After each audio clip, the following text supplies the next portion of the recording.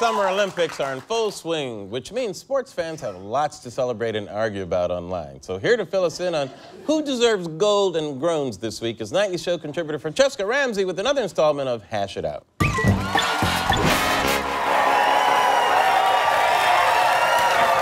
Thanks, Larry. This year's U.S. women's gymnastics team made us all proud by taking home the gold for Team All Around.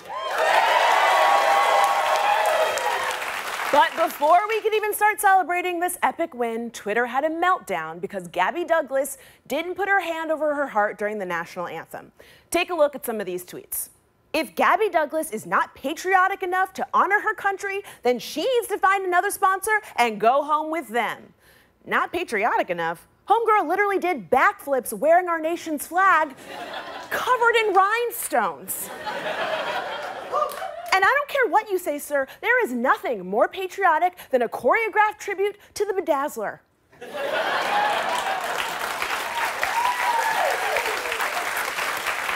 How dare Gabby Douglas not put her hand on her heart for the American national anthem? Hashtag kick Gabby out of the Olympics.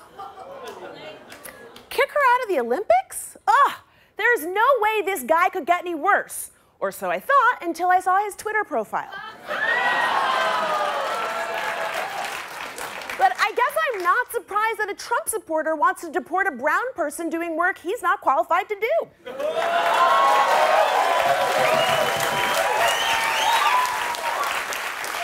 Look, she's completely showing respect by standing there proudly during the national anthem. How about you show some respect for somebody who made it possible for the national anthem to be playing in the first place?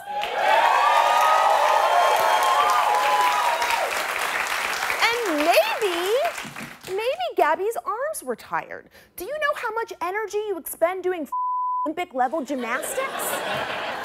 Hell, this is me after walking up four flights of stairs.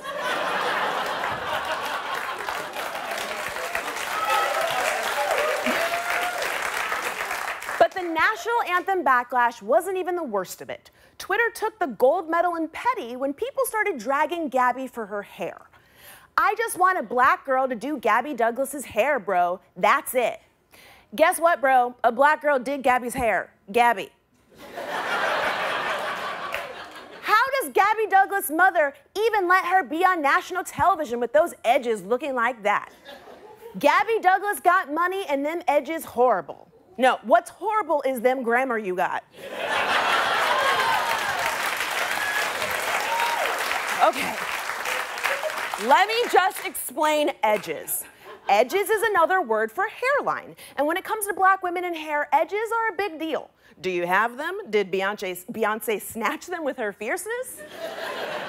it's pretty serious stuff. So why are people criticizing Gabby's edges? Well, according to Twitter, they don't look nice enough for the Olympics. Gabby's competing in the Olympics, not a hair show. You try doing the uneven bars routine with a helicopter on your head. it's nearly impossible. If Gabby, if Gabby was worried about keeping her edges laid, she wouldn't be at the Olympics. She'd be on the couch talking with you.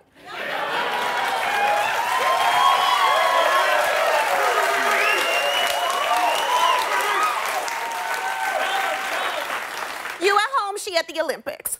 Plus, your hairline's bound to get a little fuzzy when you're breaking a sweat and breaking world records. All right. Franchesca Ramsey.